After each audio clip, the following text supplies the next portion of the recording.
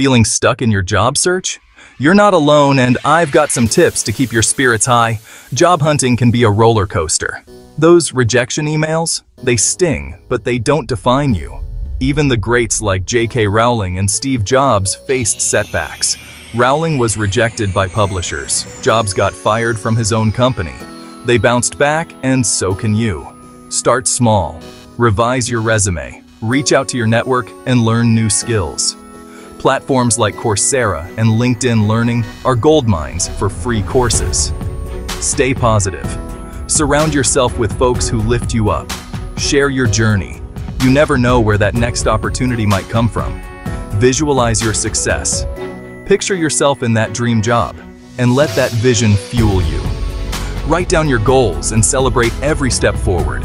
Remember, this is just a chapter in your story. Embrace it, learn from it, and keep moving forward. Your future is bright and waiting for you.